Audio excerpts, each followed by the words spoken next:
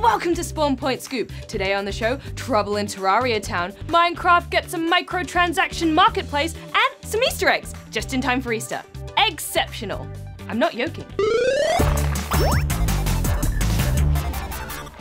But first up, the news. The upcoming Terraria spin-off game, Terraria Otherworld, has had a change of developer. The new title was being worked on by Engine Software, but according to the main series developer Relogic, the game was behind schedule and wasn't meeting their high standards. So Relogic has handed the keys over to Pipeworks Studio to give the game a fresh start and take it in a new direction. Don't mess it up, Pipeworks! Next, Mojang have revealed that Minecraft Pocket and Windows 10 editions will be getting a new marketplace. Launching later this year, players will be able to buy player-made texture packs, adventure maps, minigames, and skins using Minecraft coins, which will cost real money. The upside is about half of the profits will go to the individual content creators. Mojang believes this will allow creators to make a living from the game and support them to create even greater projects. The downside? Microtransactions. Ugh. And finally, a Nintendo Entertainment System game about an egg named Dizzy has just been released after 24 years, and it's free. Mystery World Dizzy was an NES port of Dizzy 3, Fantasy World Dizzy, but due to money issues in development, it never saw the light of day.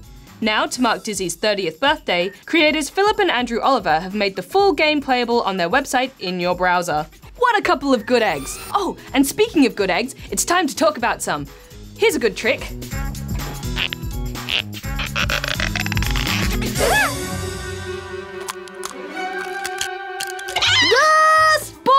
Did you know that an Easter egg doesn't just refer to a delightfully shaped confection? It can also mean a super cool hidden secret in a game.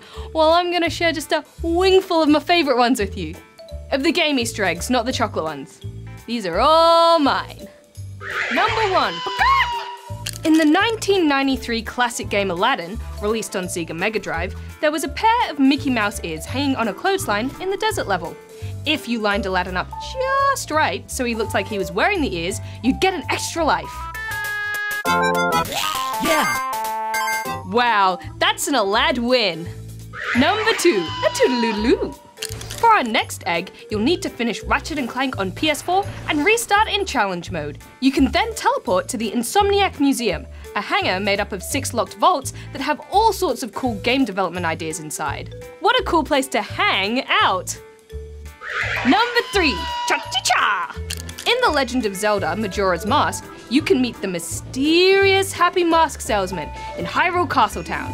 On this Happy Salesman's backpack are a number of masks, including one that looks an awful lot like a certain plumber. Well, I hope Mario can truly be himself now that the mask is off. Number 4.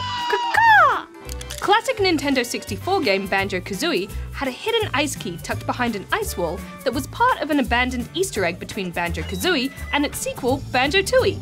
Eventually, the Xbox Live Arcade versions of the game reinstated the Easter egg, allowing players to unlock a dragon transformation for Kazooie using the key. Fast forward a few years, and spiritual successor Yooka-Laylee now has two ice keys. Double trouble! We don't know what they do yet, but maybe we'll unlock their mysteries later. Number 5. Totaka Kazumi is a Japanese composer slash voice actor that has worked on heaps of Nintendo games. And he's hidden a little tune he wrote in a whole bunch of them. From X in 1992 to Luigi's Mansion in 2001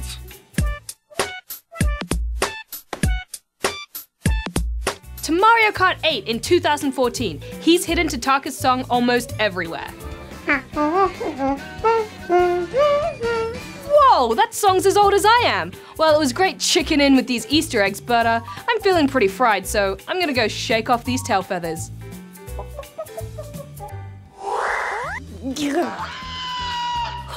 Well, that is it for today's episode of Spawn Point Scoop. But before we go, a big thank you to Ben for sending in this great picture that he drew of Noodle from Snake Pass. Excellent work, Ben. If you've got something that you've created and you want to send it to us, then you can do so by email or snail mail right here, and you could end up on Scoop. Well, until next time, be nice, have fun, and keep gaming. Right out. Man, all this egg talk has made me really hungry. Enough puns, I could go for some buns. Some hot crust fun.